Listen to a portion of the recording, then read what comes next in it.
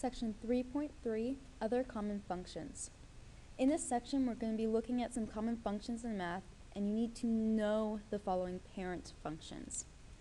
Expect for possibly a pop quiz tomorrow.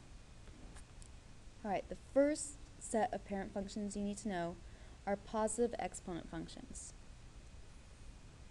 x squared.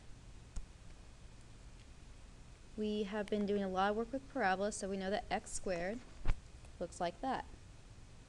What we find, though, is that x to the fourth has a similar appearance, it's just a little skinnier. And that x to the sixth is even skinnier. But that all even positive exponents has, have this parabola look to them. Okay, for odd exponents,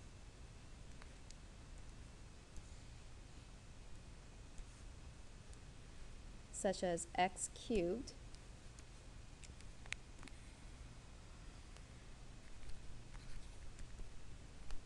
we get something like that, which looks like the parabola of x squared as if we made the other left side flip so it was going downward.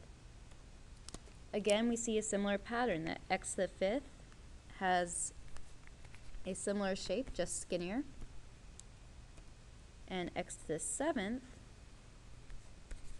is even skinnier. But know what x squared looks like, know what x cubed looks like, and know what happens as the exponents get higher, the graphs get skinnier. Negative exponents. So if we have x to the negative 2, which is x to the 1 over x squared, our graph looks like this.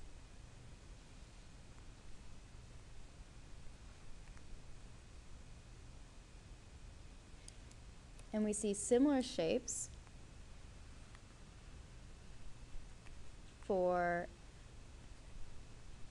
sorry, that was 1 over x squared.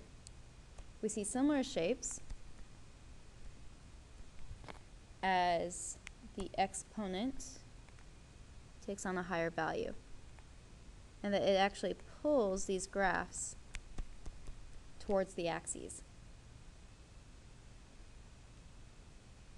But in general, what I want you to know is that 1 over x squared, or x to the negative 2,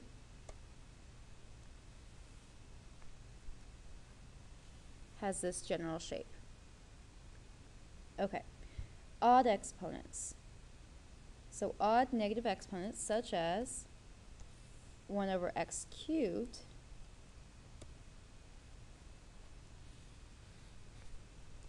looks like this.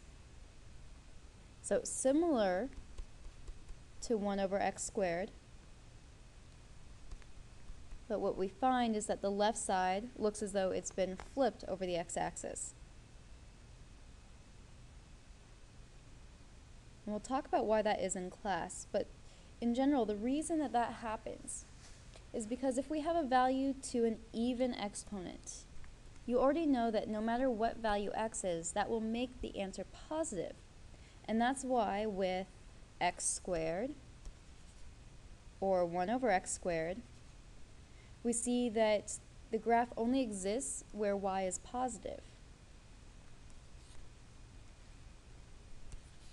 What happens with our odd exponents, such, a, such as x cubed and 1 over x cubed, is that if x is negative, the output will be negative, which is why we see that we have some negative output values we have negative output values. And lastly, we have roots. There are even roots and there are odd roots that we're going to look at.